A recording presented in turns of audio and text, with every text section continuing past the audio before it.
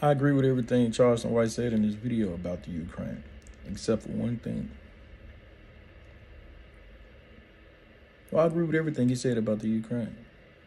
But when these guys was interviewing him and when he was speaking about the Ukraine and the U.S., he said Ukraine is white supremacist nation or whatever. America is too, especially. But when he when he uh, spoke about America, he was saying he was using we. He like we don't need to go. We don't make no decisions. Us as black men. We not even in the equation. So this puts me in mind what Malcolm X was saying about we seek master. Master, we we got a headache or we this and we that. What do you mean? We. We ain't got nothing to do with that. We need to stay out of that. That ain't none of our business.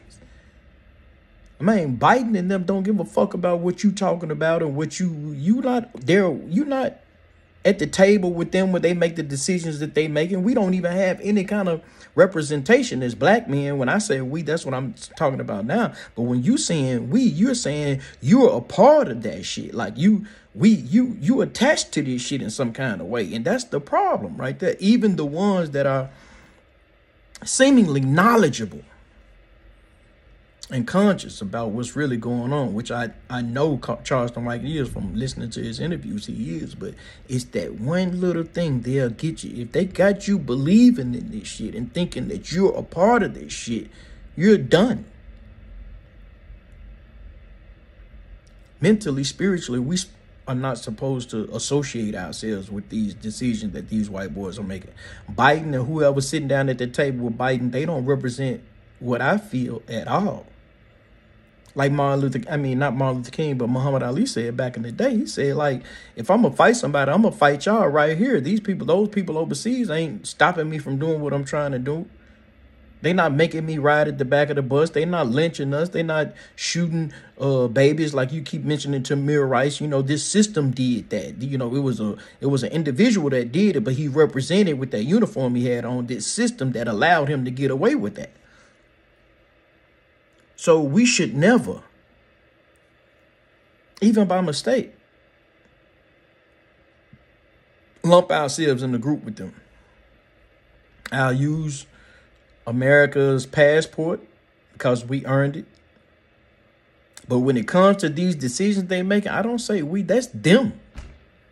That's the system. Now all of a sudden he ain't the man no more. He ain't the system. He ain't the Illuminati. He ain't the he ain't separate no more when it comes to this. Now it's we. We don't need to do this and we don't need to do that. We not doing that. We ain't got nothing to do with that shit. So you could never really, when you really conscious and you really with with, uh righteousness you can't lump yourself in the pile. You can put place yourself in the pile with wickedness if you're really righteous.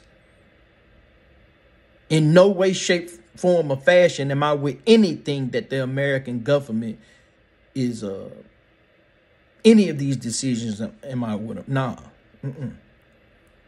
That's not us. Even if it's seemingly a good decision, that that ain't me. I ain't got nothing to do with that. They did that. They made that decision because they're making decisions based on their needs and their agenda.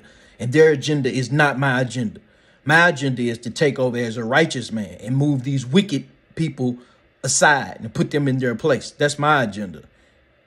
And the wicked people that I, I am speaking of is them. So I could never lump myself in with them and say we even though I'm over here, if something pop off, I'll be over here too, but I wasn't with them. And if my God allows me to die with them, then he's unjust. And he had, I had no business worshiping him anyway.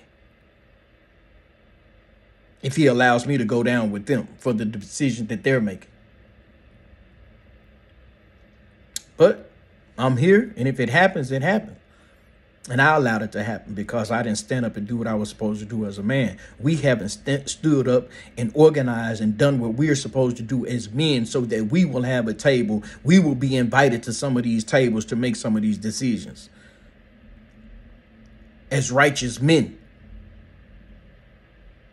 So that's the only thing I disagree with what Charleston White was saying in this video. It is a very good video. It's uh, let me see. Let me show y'all Street Stars or whatever, and it's called Charleston White on Russia slash Ukraine reward DaBaby Kodak Black Snoop Dogg say cheese Bandman Kevo. Check that video out. It was a good video.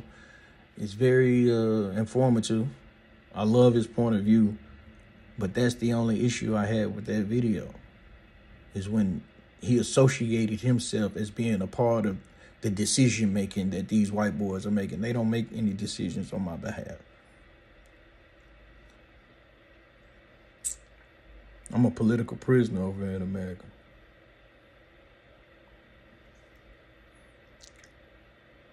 Actually, not a prisoner, I'm just a revolutionary.